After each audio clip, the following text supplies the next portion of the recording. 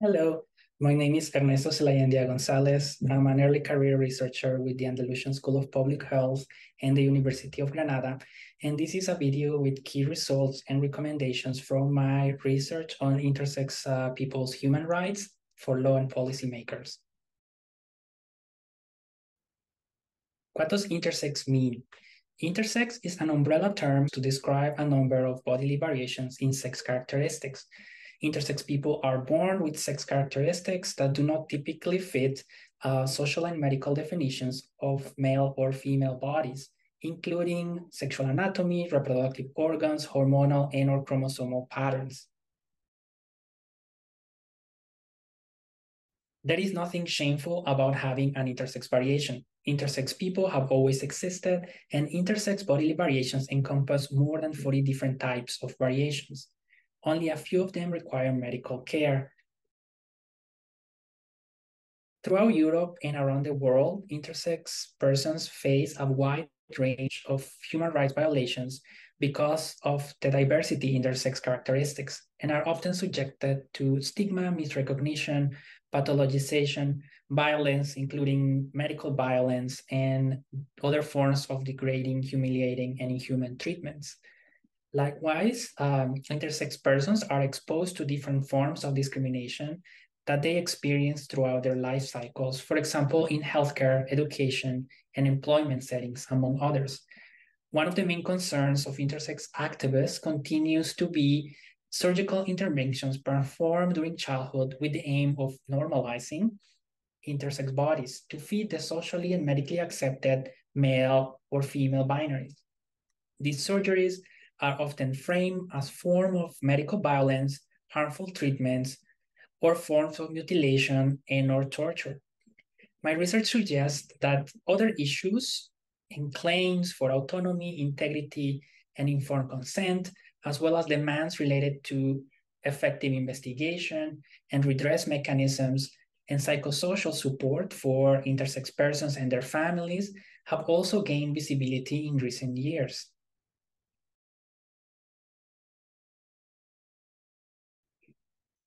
International human rights monitoring bodies within the United Nations have highlighted um, some aspects regarding intersex surgeries and forced medical treatments that contradict international human rights standards.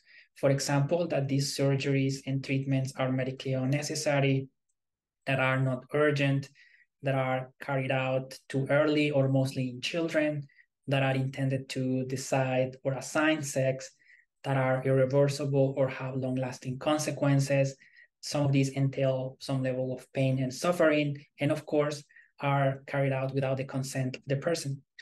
It is important to mention that intersex genital surgeries and unwanted treatments also violate the principles of bodily autonomy and integrity. This means the right that every person has to have their body respected and free from unwanted interference. If the surgeries are performed during childhood, um, other rights pertaining to children are violated, such as the right to development, the right to be heard and have their views taken into consideration, and the right to be free from violence. So what can law and policymakers do? Well, first, you can meet and listen to intersex persons intersex issues might be a complicated topic to understand, and therefore it's recommended that law and policymakers meet and listen to intersex persons directly to understand better their needs and demands. Believe intersex people. Even when intersex persons gain access to law and policymakers, which is not always easy, their claims are often dismissed as non-important or more value is given to medical views that are often pathologizing and in direct conflict with intersex persons' concerns. Law and policymakers need to believe and give equal value to intersex persons' testimonies and life experiences. Be aware of the pathologization of intersex bodies. A great number of medical professionals and medical literature still has pathologizing views of intersex bodies. In most cases, intersex bodily variations are framed as disorders of sex development, DSD. So there's biased medical knowledge founded upon the idea of fixing or normalizing bodies and these tend to see intersex variations as a problem. However, most of these bodily variations are not harmful or life-threatening. So look for diverse sources of information that are not pathologizing and take human rights into consideration. Take action. Design and implement policies and legislation to guarantee the human rights of intersex persons. Harmful practices against them, against their well-being, have been normalized and socially and medically accepted and turned into systemic forms of human rights violations. Therefore, specific laws and policies may be necessary to counter this situation. Support access to information about being intersex and intersex persons' experiences and human rights.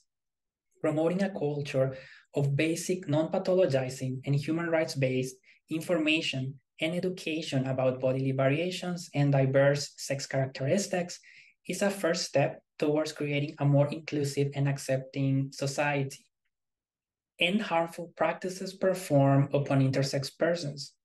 Law and policymakers should take action to end and prohibit medical practices such as surgeries or hormonal treatments that are performed without the intervening person consent if they are too young to understand and when the interventions are not urgent to, or necessary to save the person's life. Take the necessary steps to provide reparations and redress to those who already suffered because of these medical harmful practices.